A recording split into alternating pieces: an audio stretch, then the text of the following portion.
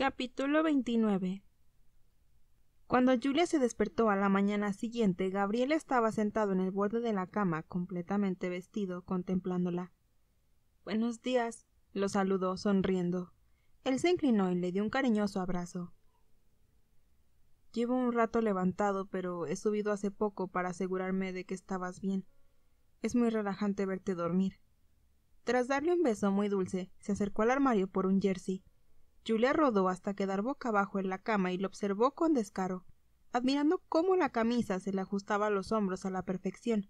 Desde donde estaba también podía disfrutar del espectáculo de su trasero, bien definido gracias a los vaqueros negros que llevaba. Eso sí que es un buen culo, pensó. ¿Qué has dicho? preguntó Gabriel, mirando por encima del hombro. No he dicho nada.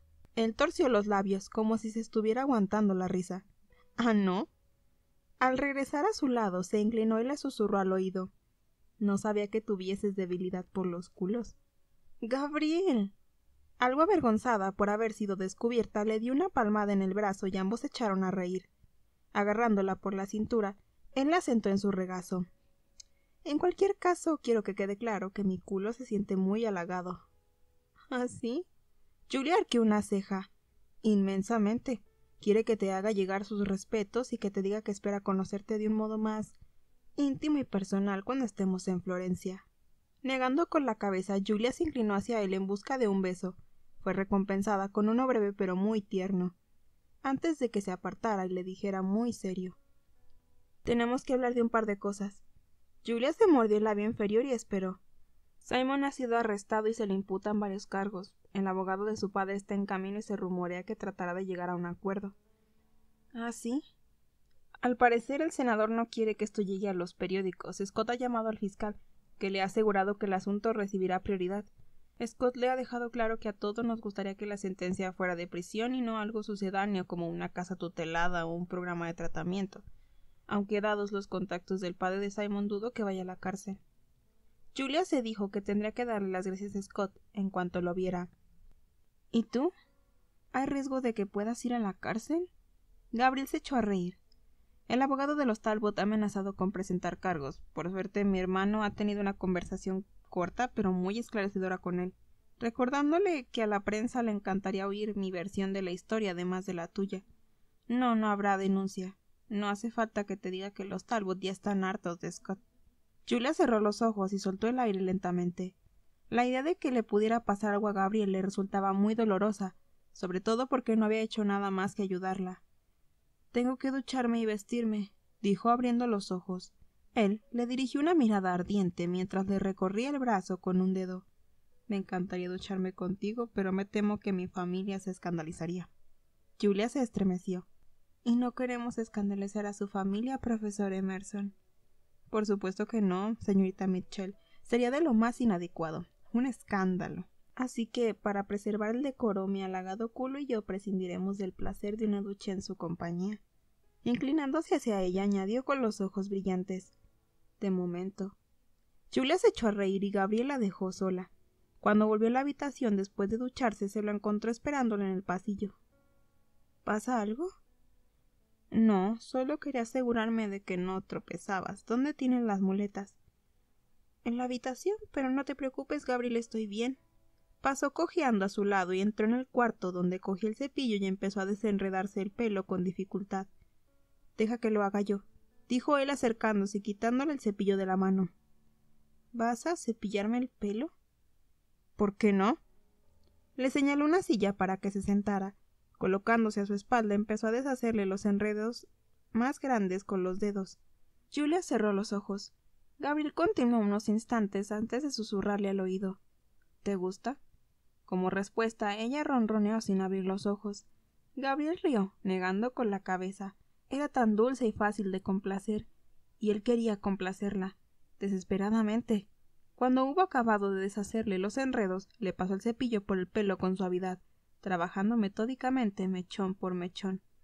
Ni en sus sueños más locos Julia se lo habría imaginado como peluquero, pero había algo instintivo en su modo de tocarla, algo en cómo sus largos dedos se deslizaban por su pelo que hizo que le subiera la temperatura. Se imaginó los placeres que le esperaban en Florencia, cuando pudiera disfrutar de su cuerpo al completo, Y desnudo. Cerró las piernas bruscamente. ¿La estoy excitando, señorita Mitchell? susurró, con su voz dulce como la miel. No. Entonces es que estoy haciendo algo mal. Procurando no echarse a reír, ralentizó el ritmo de sus movimientos y le dio un suave beso en la coronilla. Aunque en realidad mi auténtico objetivo es hacerte sonreír. ¿Por qué eres tan amable conmigo? Gabriel se detuvo del todo. Esa es una pregunta muy rara para hacérsela a un amante. Lo digo en serio, Gabriel, ¿por qué? Él volvió a cepillarle el cabello antes de responder. Tú has sido amable conmigo desde la primera vez que nos vimos. ¿Por qué no iba a serlo yo? ¿No crees que mereces ser tratada con amabilidad? Julia prefirió no insistir. Aunque la noche anterior estaba muy alterada, recordaba perfectamente haberle confesado su amor en el hospital, pero él no había contestado. No pasa nada, se dijo. Sus actos, su amabilidad y su protección son más que suficiente. No necesito palabras. Julia la amaba tanto que le dolía. Siempre lo había sentido así, con tanta intensidad que incluso en sus días más sombríos la luz de su amor había permanecido encendida. Pero al parecer él no sentía lo mismo. Cuando acabó de peinarla, Gabriel insistió en prepararle algo de comida. Después se quedaron sentados en la cocina haciendo planes para la tarde, hasta que sonó el teléfono y Richard entró con el inalámbrico en la mano. Es tu padre, le hizo saber, dándole el teléfono a Julia. Gabriel lo cogió y cubrió el auricular con la mano. No hace falta que hables con él si no quieres. Yo puedo encargarme. Algún día tendremos que hablar. Julia se bajó del taburete y se fue con el teléfono al comedor con ayuda de las muletas. Richard miró a su hijo y negó con la cabeza. No puedes interponerte entre ella y Tom. No ha sido un padre modelo precisamente. Tal vez, pero es el único que tiene. Y Julia es la luz de su vida. Gabriel entrecerró los ojos. Si le importara tanto, la habría protegido mejor. Richard le apoyó una mano en el hombro. Los padres nos equivocamos. A veces es más fácil enterrar la cabeza en la arena que admitir que nuestros hijos tienen problemas y que es culpa nuestra. Lo sé por experiencia. Él apretó los labios pero no dijo nada. Unos diez minutos más tarde Julia regresó. Aunque Richard seguía en la cocina, Gabriela la abrazó y la besó en la mejilla. ¿Va todo bien? Mi padre quiere que vaya a cenar con él esta noche. A Richard le pareció que ese era un buen momento para retirarse y se dirigió a su despacho. ¿Tú quieres ir? Será incómodo, pero le he dicho que sí. Julian, no tienes que hacer nada que no quieras. Si lo prefieres, te llevaré yo. Ella negó con la cabeza. Lo está intentando, Gabriel. Es mi padre. Tengo que darle una oportunidad. Él guardó silencio, frustrado, pero no quiso discutir con ella. A las seis en punto, Tom Mitchell apareció en casa de los Clark, vestido con traje y tirándose nerviosamente de la corbata. No estaba acostumbrado a llevarla, se la había puesto por su hija. Richard lo hizo pasar al salón y le dio conversación mientras esperaban que Julia bajara. ¿Estás segura de que quieres ir? Tumbado en la cama, Gabriel le contemplaba mientras se aplicaba el pintalabios con ayuda del espejo de la polvera. No voy a dejar plantado a mi propio padre. Además, Rachel se va a llevar a Richard a ver una película romántica y tú has quedado para salir con los chicos. Acabaría quedándome aquí sola. Gabriel se levantó, se acercó a ella y le rodeó la cintura con los brazos. No estarías sola, estarías conmigo, y sé cómo entretener a una dama. Reforzó sus palabras dándole varios besos húmedos detrás de la oreja. Estás impresionante, le susurró. Julia se ruborizó. Gracias. ¿El pañuelo es de Rachel? preguntó, acariciando la seda del fular azul de Hermes que su hermana le había anudado artísticamente alrededor del cuello para ocultar el mordisco. Era de Grace, respondió Julia suavemente. Fue un regalo de Richard. A él le gustaba malcriarla, sobre todo cuando iban a París. Te le pareces mucho. Se puso de puntillas y le dio un beso en la mejilla. Espera que lleguemos a Florencia. Gabriel la abrazó con fuerza y la besó apasionadamente antes de soltarla.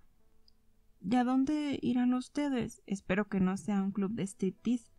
Julia lo miró parpadeando, demasiado adorable para la tranquilidad mental de Gabriel. No creerás en serio que quería algo así. ¿No es eso lo que hacen los chicos cuando salen solos? Gabriel acarició la mejilla con el dorso de la mano. ¿Crees que Rachel aprobaría esa excursión? No.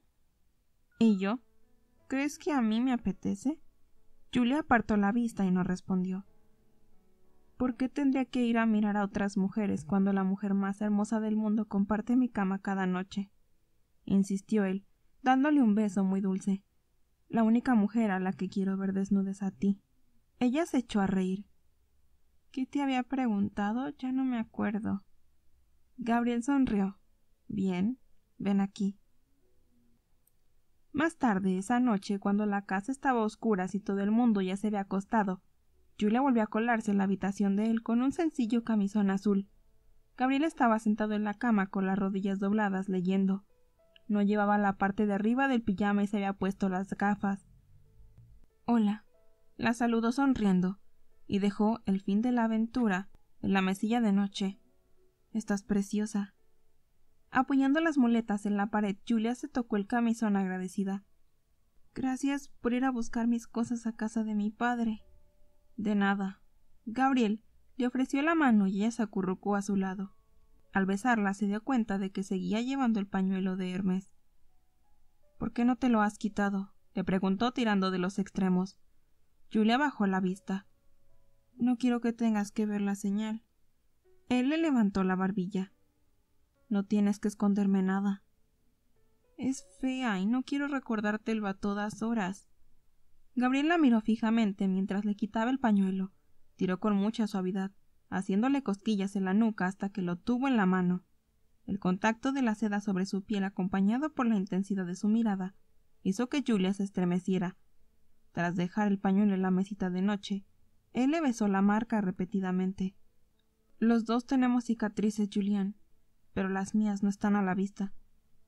Ojalá no las tuviera, susurró ella. Ojalá mi piel fuera perfecta. Gabriel negó con la cabeza con tristeza. ¿Te gusta Caravaggio? Mucho. De sus cuadros, el sacrificio de Isaac es mi favorito. Él asintió. Yo prefiero la incredulidad de Santo Tomás. Richard tiene una copia en su despacho. Esta misma tarde la he estado mirando. Siempre me ha parecido un cuadro extraño. Es extraño. Jesús se aparece a los apóstoles tras la resurrección y Tomás le mete el dedo en la llaga del costado. Es un cuadro profundo. Julia no le veía la profundidad por ningún lado, por lo que guardó silencio. Julian, si quieres esperar a que la cicatriz desaparezca, esperarás en vano. Las cicatrices no desaparecen nunca. El cuadro de Caravaggio lo muestra claramente. Las heridas cicatrizan y dejamos de pensar en ellas, pero su huella es permanente. Ni siquiera las cicatrices de Cristo desaparecieron. Se frotó la barbilla, pensativo. Al cabo de un momento continuó. Si no hubiera sido tan egoísta, me habría dado cuenta y habría tratado a Grace y a los demás con más cuidado. Te habría tratado a ti con más cuidado en septiembre y octubre. Carraspeó. Espero que me perdones las cicatrices que te he dejado. Sé que son numerosas. Ella se sentó en su regazo y lo besó apasionadamente. Te perdoné hace tiempo. Te lo perdoné todo. No volvamos a hablar de esto. Los dos casi amantes compartieron unos instantes de silencio antes de que Gabriel le preguntara cómo había ido la cena con su padre. Se ha echado a llorar, respondió Julia, removiéndose incómoda. Gabriel levantó las cejas. ¿Tom Mitchell llorando? Resulta difícil de creer. Me ha explicado cómo encontró la casa. Cuando le he contado lo que pasó antes de que tú llegaras, se ha echado a llorar. Le he dicho algunas de las cosas que Simon solía decirme cuando discutíamos, y los dos hemos llorado en medio del restaurante. Julia negó con la cabeza. Ha sido un desastre. Gabriela apartó el pelo de la cara para verla mejor. Lo siento, dijo. Teníamos que hablar y por primera vez en la vida he tenido la sensación de que me escuchaba. Al menos creo que lo está intentando. Es un gran paso. Y cuando nos hemos quitado esos temas de encima hemos hablado de ti. Quería saber cuánto tiempo llevábamos juntos. ¿Qué le has dicho? Que poco tiempo, pero que me gustas mucho. Le he dicho que has hecho cosas por mí y que eres importante en mi vida ¿Le has contado lo que siento por ti? Ella lo miró con timidez. Bueno, Sobre lo de hacerme el amor en Florencia no he mencionado nada, pero le he dicho que creo que te gusto. Gabriel fruncía el cejo. ¿Que me gustas? ¿No se te ha ocurrido nada mejor? Es mi padre, no le interesan los detalles sentimentales. Lo que le interesa es saber si te drogas, si te metes en peleas y si eres fiel. Él hizo una mueca. Julia lo abrazó. Le he dicho que eres un ciudadano ejemplar y que me tratas como a una princesa, que no te merezco. Eso es mentira. Gabriel le besó la frente. Soy yo quien no te merece. Tonterías.